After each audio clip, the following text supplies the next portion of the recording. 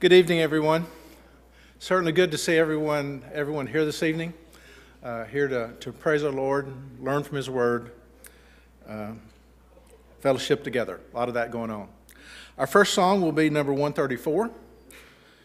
Number 134. My favorite songs always start with this one. Okay. That's, nothing wrong with that. That's right. That's, it, that's what I love about leading singing is I do get to sing my favorite songs. Okay. Let's sing the song. Encamped along the hills of light, ye Christian soldiers rise and press the battle ere the night shall veil the glowing skies. Against the foe in vales below, let all our strength be hurled. Faith is the victory we know that overcomes the world.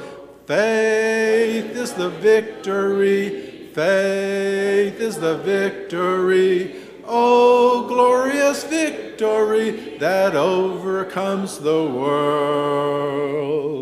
His banner over us is love, our sword, the word of God. We tread the road the saints above with shouts of triumph trod. By faith they like the whirlwind's breath swept on o'er every field. The faith by which they conquered death is still our shining shield. Faith is the victory, faith is the victory. Oh, glorious victory that overcomes the world. To him that overcomes the foe, white raiment shall be given. Before the angels he shall know his name confessed in heaven.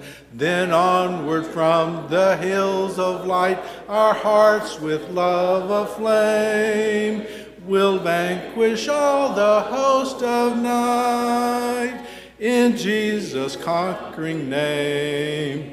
Faith is the victory, faith is the victory. Oh, glorious victory that overcomes the world. Our song before the opening prayer will be number 781. 781. Wonderful story of love. Wonderful story of love. Tell it to me again. Wonderful story of love. Wake the immortal strain. Angels with rapture announce it. Shepherds with wonder receive it. Sinner, oh, won't you believe it? Wonderful story of love, wonderful, wonderful, wonderful,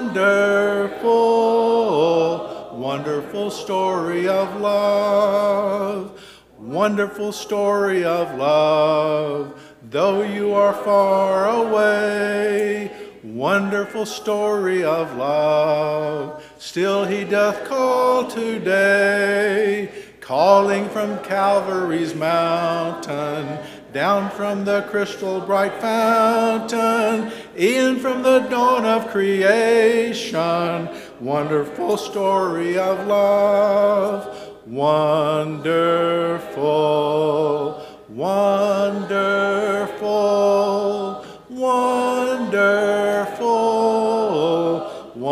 wonderful story of love, wonderful story of love. Jesus provides a rest, wonderful story of love for all the pure and blessed.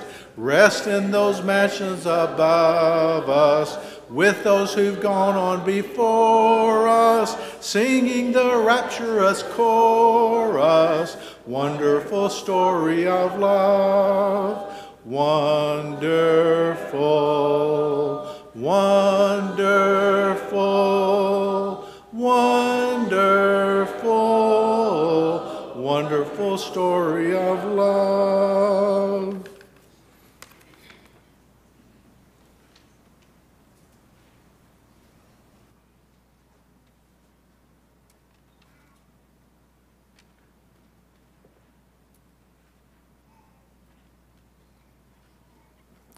Would you join me in prayer, please? Holy Father, we thank you for this opportunity we have to get together this evening, study your word, sing praises to you,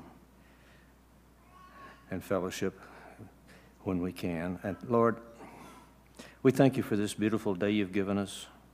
We thank you for all the blessings that you give us each day. And Lord, we thank you especially for Jesus. Without him, we have nothing to look forward to.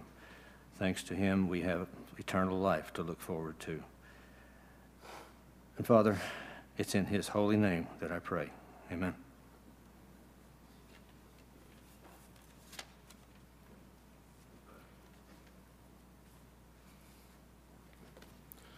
The Lord's Supper has been left prepared, or prepared for those who are unable to partake this morning.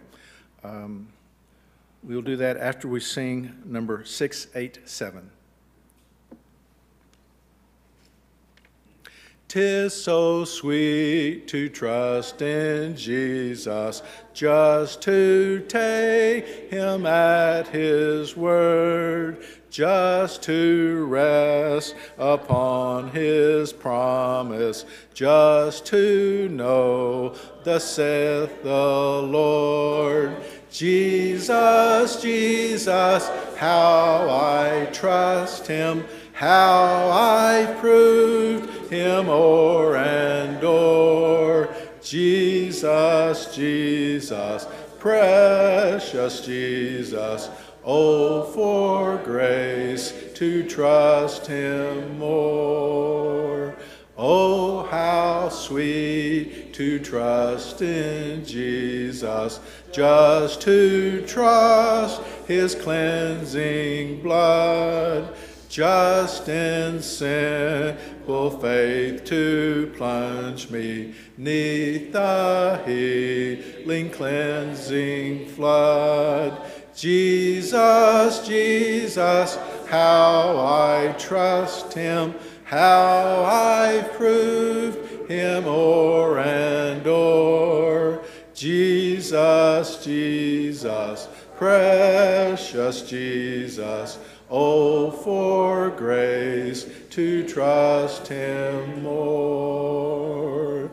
I'm so glad I learned to trust thee, precious Jesus, Savior, friend. And I know that thou art with me, wilt be with me to the end. Jesus, Jesus, how I trust him, how I've proved him o'er and o'er.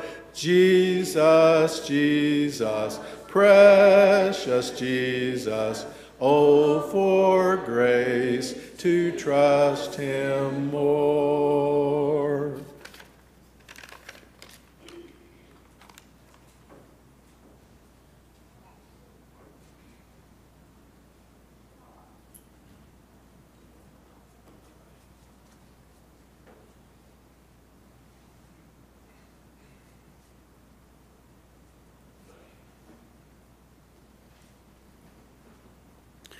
If you would like to be served the Lord's Supper, please raise your hand as we come down the aisle and we will serve you.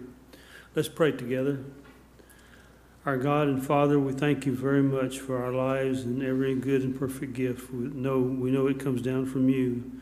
And Father, we thank you most of all for Jesus and the sacrifice that he made for us when he gave himself for us on the cross. We thank you for the precious forgiveness that comes through his blood. Help us to remember him, Father, as we take these emblems which represent his body and his blood. In the name of Jesus, we pray. Amen.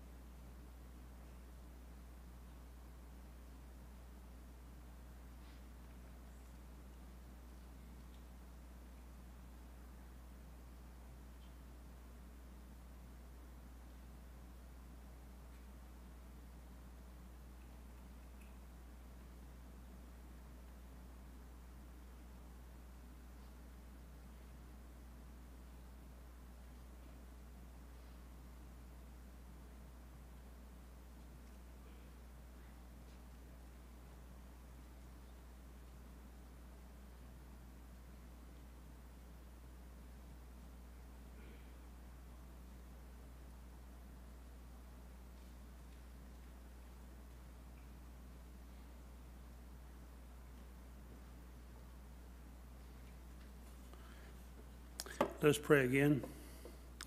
Our great Heavenly Father, we thank you for our lives and thank you for every blessing. We thank you, Father, for Jesus who died for us. Help us to remember him, Father, as we take this fruit of the vine, which he said was his blood, the blood of the covenant, which was shed for many for forgiveness of sins. In his dear name we pray. Amen.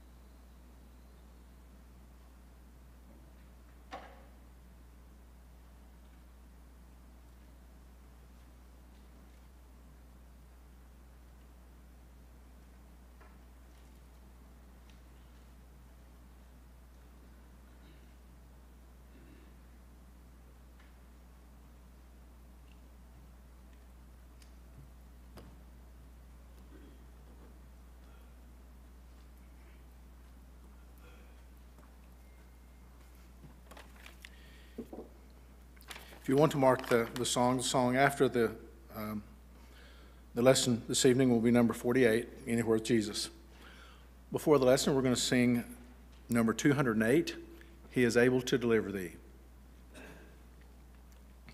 Tis the grandest theme through the ages rung, tis the grandest theme for a mortal tongue. Tis the grandest theme that the world e'er sung. Our God is deliver thee. He is able to deliver thee. He is able to deliver thee. Though by sin oppressed, go to him for rest. Our God is able to deliver thee.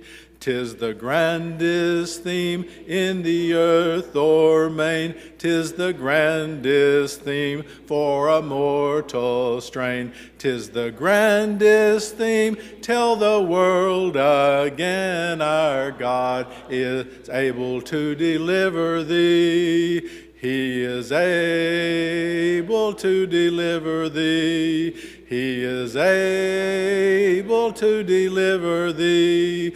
Though by sin oppressed, go to him for rest. Our God is able to deliver thee.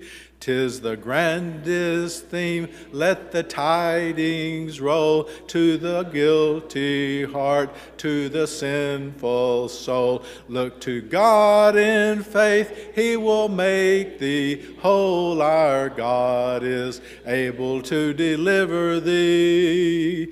He is able to deliver thee. He is able to deliver thee. Though by sin oppressed, go to him for rest. Our God is able to deliver thee.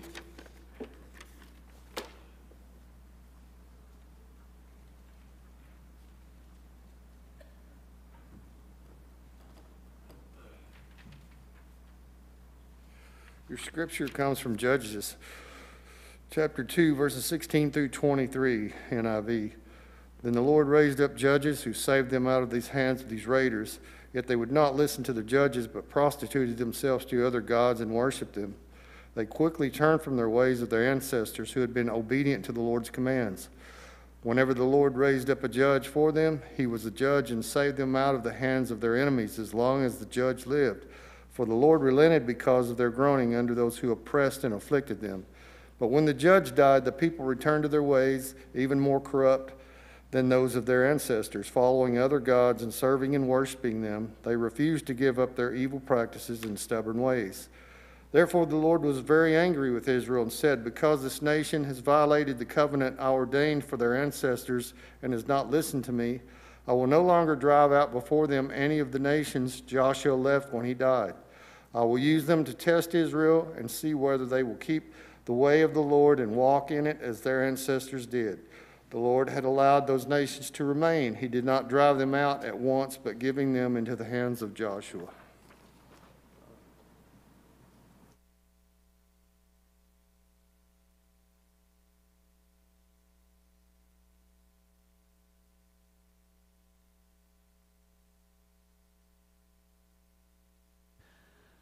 That was, it's especially for all of those folks who have been uh, with a smile on their face making that uh, uh, comparison or that uh, connection with this new hurricane that made its way. Uh, someone informed me that this new hurricane that's named Larry, I never thought I'd name a, hear a hurricane after, named after Larry, but someone told me, yeah, it's just a bunch of hot air, you know. said, thanks a lot. But you will notice, if you happen to have read the news, that that hurricane has gone all the way up and is going to drop tons of snow on Greenland, where there's hardly any people. So I didn't bother anybody in populated regions. Just wanted you to know that. I also wanted you to, to remember you heard those words about judges, and as we continue this series in Judges, uh, when we think of a judge, we often think of someone sitting in a black robe behind uh, that, uh, you know, the, where the judges sit on the bar or wherever they call that. Uh, we're talking about deliverers here. They're called judges, but basically we're talking about deliverers that God chose to deliver his people from oppression, and then, uh, well, they chose to follow or not. But it's always interesting when we're looking at these stories and other stories and history in general it's always interesting to see how man, when he's left to his own, seems to just self destruct. Isn't that the truth? We wander away from God. In our introduction last week, we saw how Israel chose the path away from God time and time again. We saw how the people of God had compromised. Well, you know, God didn't really mean what he said when he said, Cast out all of the nations before you inhabit that land. You know, it's not going to hurt to have a few in there. We can keep them as slaves after all. Uh, they compromised, they conformed eventually to the nations around them, accepted their gods, intermarried with them. That was against what God had said. And they were content. They were fat and happy. Israel was doing well when we came to this point in history. Uh, they were free from the, as we saw in the very beginning of the book, they were free from oppression. They had land.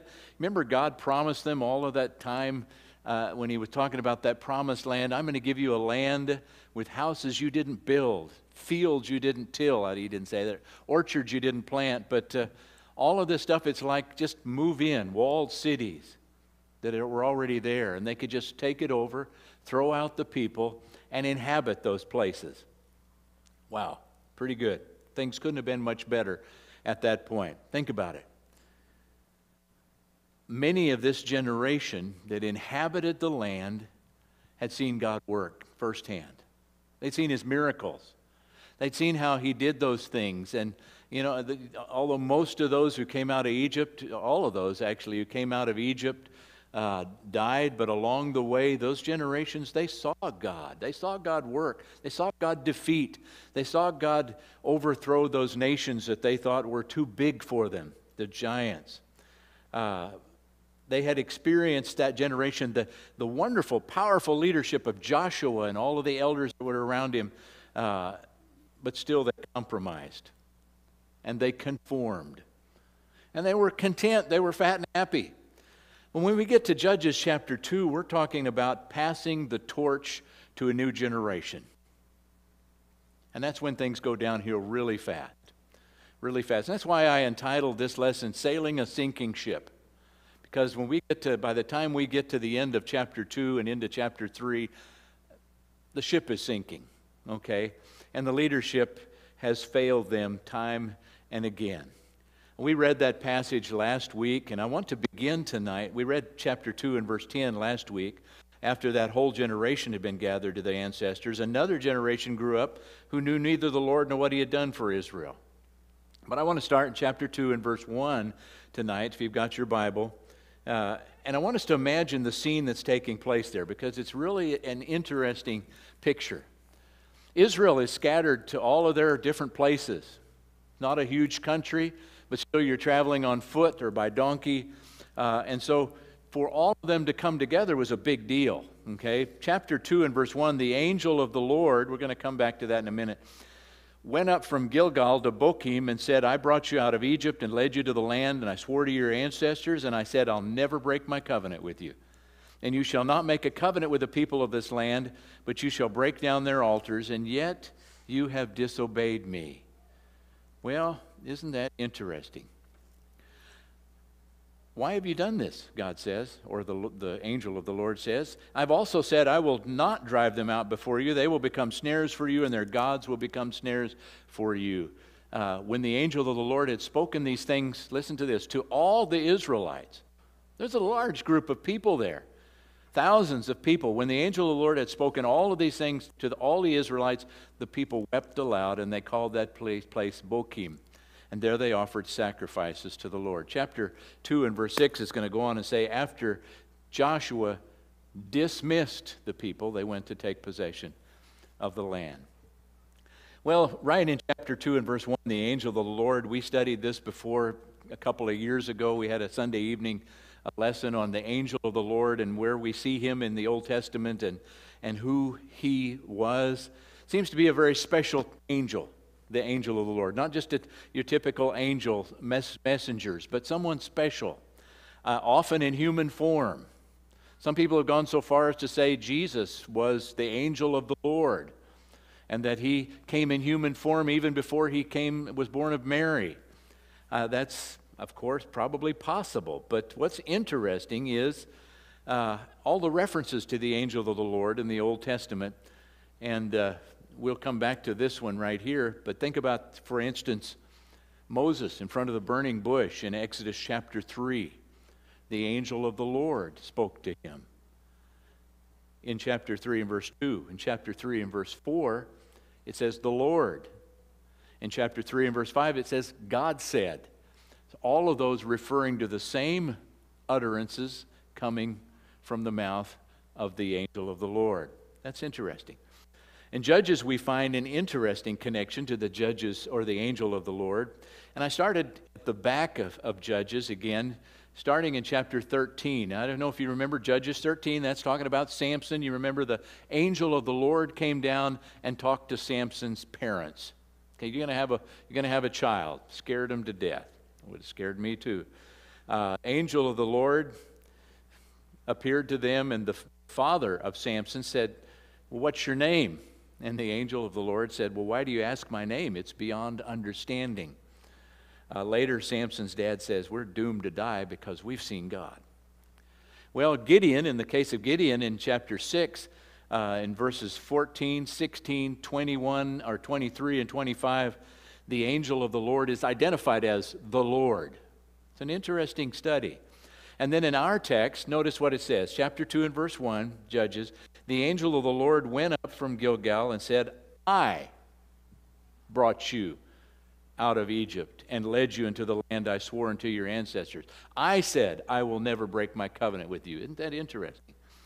Uh, an aspect of angel, uh, the angel world that we really don't know all that much about it. But what we see here is God speaking to his people, and obviously he's not happy. Okay? He reminds them of how he had always kept his promises. I'll never break my covenant. He reminds them of how they had broken covenant with him so many times. You disobeyed me. Why did you do this? Why did you do this? God said. And he promised them that those people that had been left in the land that they didn't cast out would become traps and snares for them. The people's reaction, you saw that. Verse 4 When the angel of the Lord had spoken these things, the people wept aloud. They knew they had broken the covenant. They knew they had done wrong. And the people wept aloud and they called the place Bochim, and there they offered sacrifices. Maybe they thought they could, well, maybe they can win his favor back by offering a bunch of sacrifices. I don't know. Maybe they can appease him. After they left, they went to take possession. And it's interesting what it says. Uh, after 6, after Joshua had dismissed them, they went to take possession. And in verse 7, the people served the Lord throughout the t- lifetime of Joshua and the elders who outlived him. All those who had seen all the great things the Lord had done for Israel. Joshua dies, and then we have that famous verse 10. The next generation didn't know God. Let's focus on that just for a few moments a whole generation had been gathered to their ancestors. It's Joshua's generation. Another generation came up who knew neither the Lord nor what he had done. They didn't know the Lord, they didn't know the Lord's word, they didn't know what the Lord had told them. And I couldn't help but think of the practical, practical 21st century uh, aspect of that the importance of teaching the generations that come. I'm so thankful for Bible class teachers that we have here. We have a, a lot of Bible class teachers. They're very dedicated to what they do, uh, dedicated to teaching the kids. Uh, but we forget something in our hyper busy society, and that's parents, teach your children. It's your responsibility first. It's not the responsibility of those, those young men and, and ladies or older men and ladies that teach in the back uh, in that other building. They're doing a great service to us, but it's your responsibility. And I know I don't have a lot of parents in here tonight, they're mostly over there. But uh, I think grandparents have a responsibility as well. Go to extremes if necessary to teach your kids. I know Luke is going to hit on this next Sunday morning in his sermon of Bridging the Gap, Deuteronomy chapter 6. Do you remember after God gave the law? He says, Impress these things on your children. Teach your children. Share them. Let them know why things are like they are. Make sure your children don't forget God. This generation didn't do that. Make every effort to teach your children. I don't often do this, but I'm going to do it tonight. Uh, I want you to open your songbooks, if you would, to 973. This is a relatively new song for some of us. It's not a new song, 1980, but uh, I like the text. Look around, you'll find a songbook in there, 973. Don't typically lead songs in my sermons, but I'm going to do it tonight. I may get in trouble, who knows. Uh, what I'd like to do is to sing all three verses and then sing the chorus, okay? 9, 7, 3. God the Father, God in glory, miracles and mystery. Generations all adore him, God the same through history. Lift the fallen, feed the hungry, God provides for everything. He is fair and full of kindness, saving those who call him king. Awe-inspiring deeds of splendor, these proclaim his mighty power. Interwoven with compassion, gives us strength for every hour. Parents, tell your children, age to age the same. Glorify the living Lord above, magnify his holy name. Magnify his holy name. What a great thing to remember. Parents, teach your children. The second thing that we read in this passage, they didn't know God, they didn't know His Word, nor did they know what He had done. We just sang about that, those wonderful deeds that God has carried out. Well, parents, grandparents, don't be afraid to tell your kids and your grandkids what God means in your life, how important He's been to you. uh, how, God, how good He is. Impress those things on them. We're one generation away from apostasy, one writer said. Well, if you switch down, jump down a little bit to chapter 3 and verse 1, you see the third thing that they forgot. Chapter 3 and verse 1, we read, These are the nations the Lord left to test all those Israelites who had not experienced any of the wars in Canaan. They forgot the Lord's word, they forgot the Lord's works, and they forgot the Lord's wars, the wars that God had fought. I'm thankful that we don't have to fight bloody battles to keep our homes and our families together. But we do fight battles, don't we? Spiritual battles every day. Our children need to know that. That we're not perfect, we make mistakes. We're fighting a battle every day against Satan. They need to know how God has worked in our lives, how God has given victory. Uh, we can't let our kids grow up in a, in a wealth oriented society knowing that not knowing that things aren't always going to be perfect and peaches and cream. They need to know what life is really like and that God has promised to be with us always. My question comes up how could a nation have it so good that they forgot the source of everything? I'm not going to go there tonight, but we're there as a nation. This Israel was there. But it's so good. We have it so good that sometimes we forget the source of everything. Well, the passage that Chris read tonight begins in 216. Uh, and basically, that's where we start riding this cycle of disaster uh, that we've talked about. The Lord raised up judges. Israel sinned and rejected God. They were oppressed. They cried out. God sent deliverers, judges that, who, that saved them from the oppressors, and things went well for a while, downhill. and then it all started again, the same cycle. And we see that throughout the book of Judges. Everyone, verse 16, we read it, well, we read that at the at the back of the, the back of the book last week. Everyone did what was right in his own eyes. Verse 16 Then the Lord raised up judges who saved them out of the hands of the raiders. They couldn't win any battles, God wouldn't let them win battle. God gave them over, verse 14, into the hands of raiders, enemies all around them, and they were in great distress. They called out, and God sent judges. So, before we look at a couple of those judges in chapter 3 uh, tonight, I want to look at three actually. Uh, I want us to think for a moment and, and ask ourselves a question what, what's the purpose of strong leadership? I mean, we don't, we're not in a forum where we can all answer out loud. Maybe we'll do that sometime. But think about that for a moment. What's the purpose of strong leadership? I think in this case, and in our case, number one, it's to keep reminding us of who we are, where we've come from, what we have with God. Maybe, secondly, to keep us from making those self destructive uh, decisions that destroy our lives and the lives of, and of our people around us. Maybe, thirdly, to keep us focused on God, the source. Because without good leadership, we tend to lose direction, don't we? We lose hope. When we look at those leaders that God, we call them judges or deliverers, when we look at them, it's easy to, to just break out and laugh. What was God thinking? What was God thinking with Othniel and Ehud and Shamgar and, and Samson and Gideon, all of these strange misfits, if you want to look at it that way?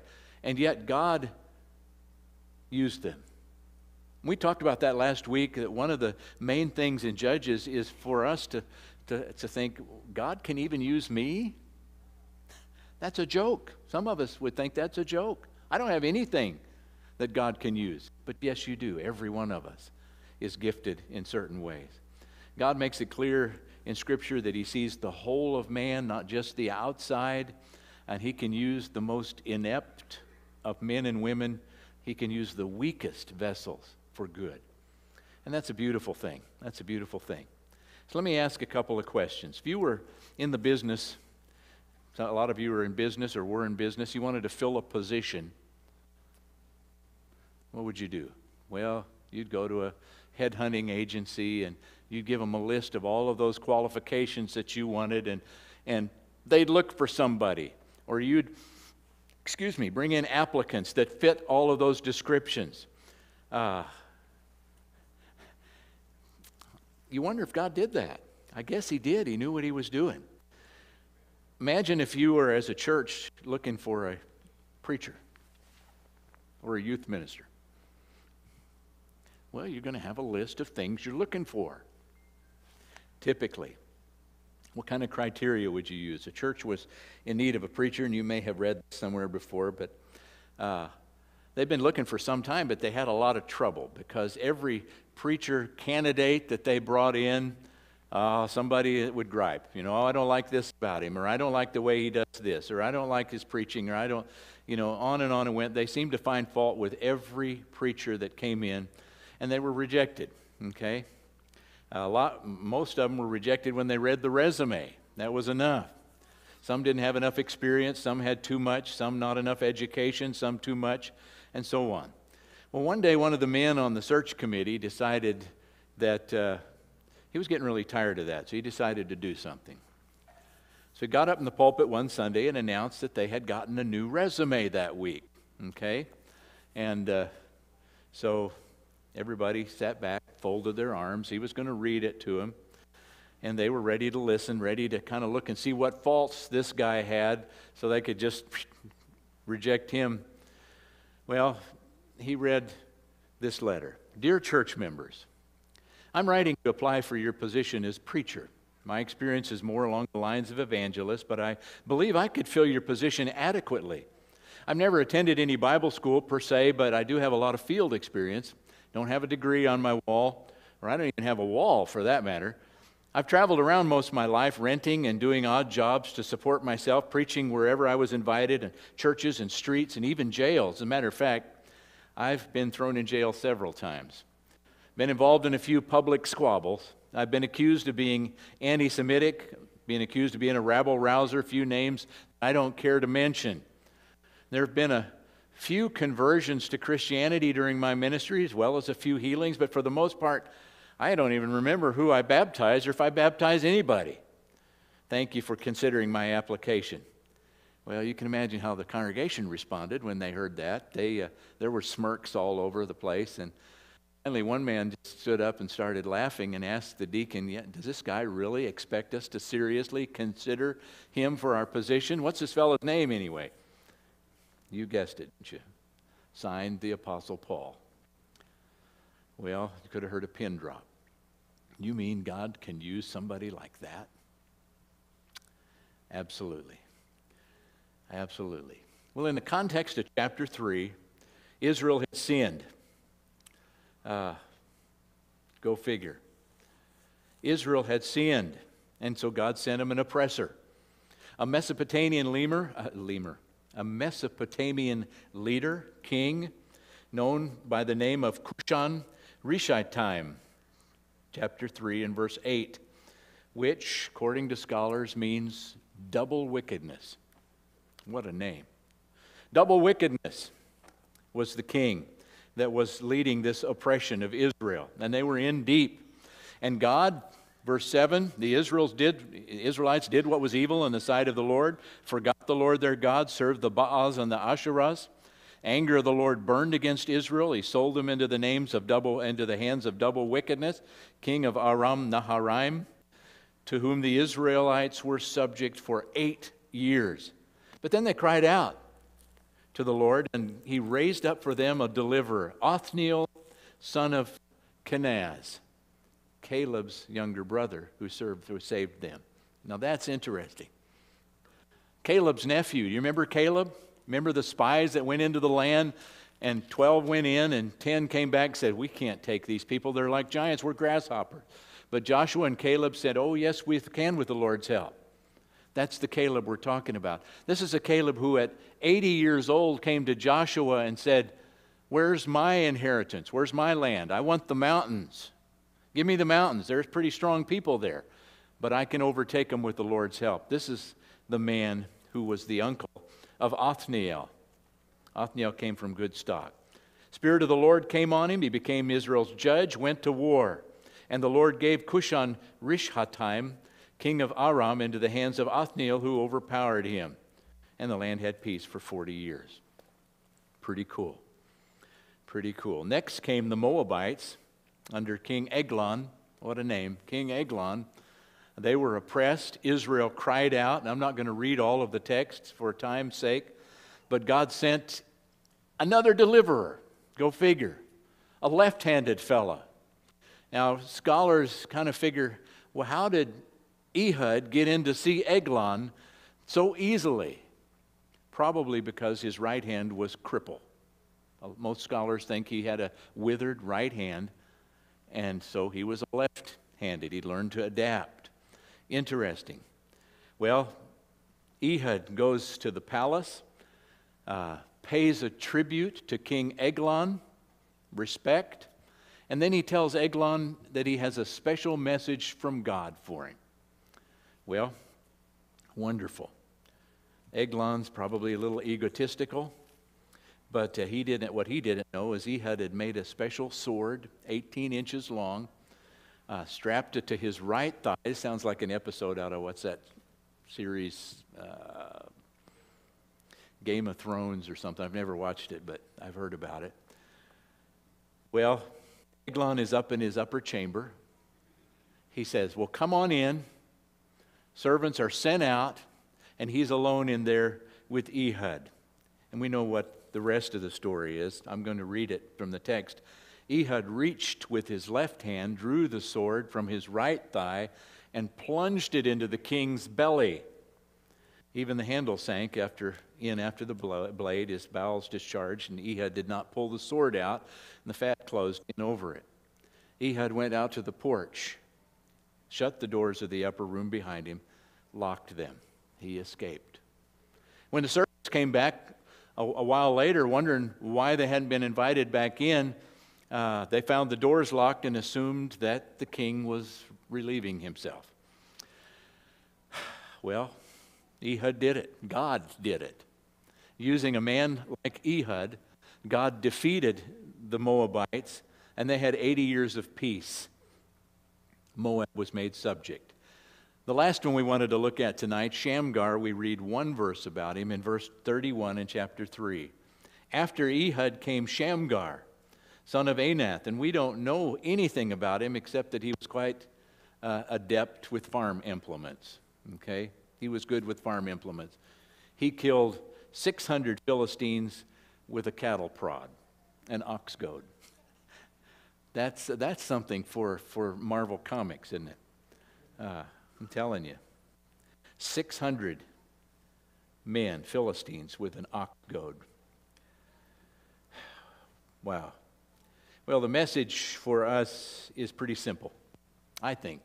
Whether, you know, it's not easy to accept, but it's pretty simple. Whether it's farm implements, in the case of Shamgar, uh, whether it's a small sword, in the case of Ehud, in the, in the hand of a, of a cripple, whether it's five smooth stones that you pull out of the brook, the jawbone of a donkey, God tends to work with the tools he's got to his available to him, doesn't he? Always with the desire and the plan that we realize the power comes from him ultimately, always. It's his power and not our own. Maybe remember the words of Paul in 1 Corinthians chapter 1, verses 26 and 31. They were having some ego problems, okay, in this church. Paul says, Brothers and sisters, think of what you were when you were called.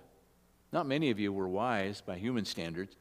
Not many were influential. Not many were of noble birth, but God chose the foolish things of the world to shame the wise, and God chose the weak things of the world to shame the strong. God chose the lowly things of this world and the despised things and the things that are not to nullify the things that are, so that no one can boast before Him. It's because of Him that you're in Christ Jesus, who's become for us wisdom from God, that is our righteousness, our holiness, our redemption. Therefore, as it is written, let the one who boasts boast in the Lord.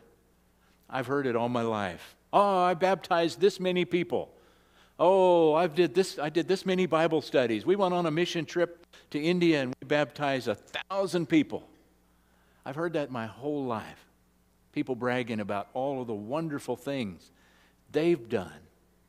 And very, very seldom did I ever hear the name of God mentioned in that. I think that says a lot to us. If you're going to boast about something, boast in the fact that God even uses somebody like me, like us. God can use us and do great things. The song we used to sing years ago, and I'm about to, to bring this to a close. In the harvest field now ripened, there's work for all to do. Hark, the Master's voice is calling to the harvest, calling you. Does the place you're called to labor uh, seem so small and little known? It's great if God is in it, for he'll not forsake his own. Little is much when God is in it. Labor not for wealth or fame. There's a crown, and you can win it if you go in Jesus' name. And when the conflict is ended and our race on earth is done, he'll say, If you've been faithful, welcome home, my child, well done. Little is much when God is in it. Labor not for wealth or fame. There's a crown, and you can win it if you go in Jesus' name. I like that. It's time to take inventory every day. It's time to take inventory of our lives and just say, What's God got to work with in my life? And never forget, little is much when God's in it. When we're in His hands, He can do a lot of good. Let's give Him the glory and the honor.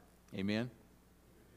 If you have a need tonight, I hope you'll express it while we sing the song together. Elton?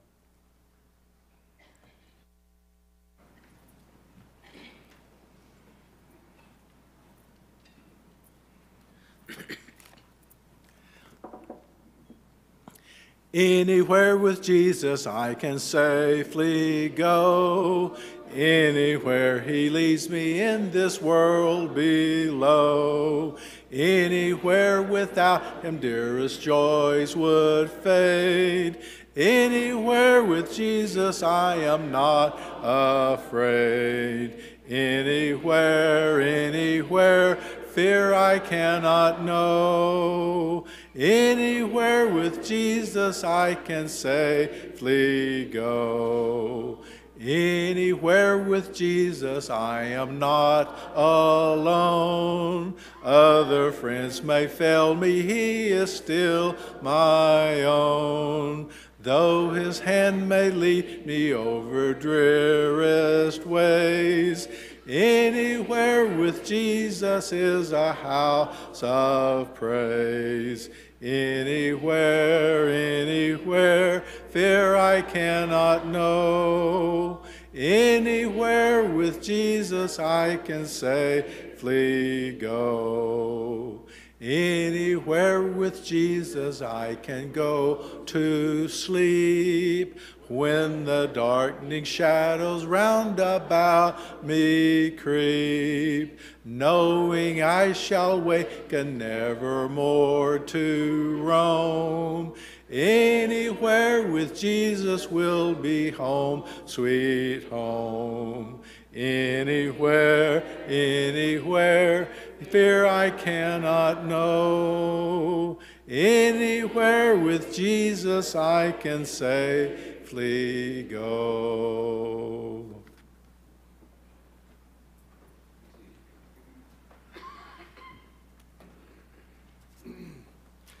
Thank you for being back tonight. It's good to see everybody back, and especially would uh, like to welcome any of you that uh, might be visiting with us. We appreciate you coming our way, and and I want to say hello to those out there that are listening in. Appreciate you uh, tuning in tonight. Thanks, Larry, for that uh, wonderful lesson. And uh, I guess this is your last night for a while, huh? Here, anyway. Uh, Larry, as you know, is going to be leaving uh, tomorrow to go to uh, um, where are you going to? Um, Austria. You told us this morning, I've done forgot. So.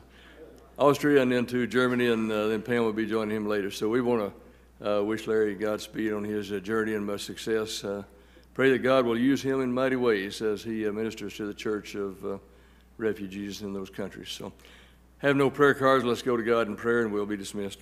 Thank you, God, for everything you do for us. Thank you for all the many blessings that you bring to us. We're so grateful, Heavenly Father, for the way you love us and, and the way you take care of us and the things that you provide us with. And we uh, love you and we are grateful that you love us and that you provided Jesus to provide for us a way to salvation and, uh, and also to give us a, a more abundant life, a reason for living, a purpose.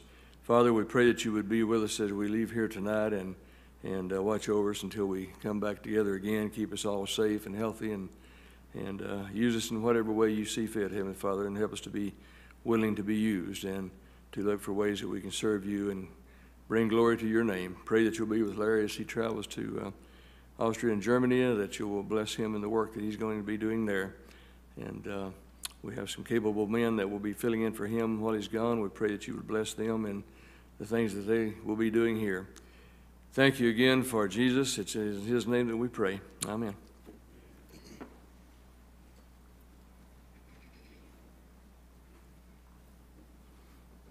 Before we go our separate ways, let's sing This World Is Not My Home. This world is not my home, I'm just a passing through. My treasures are laid up somewhere beyond the blue.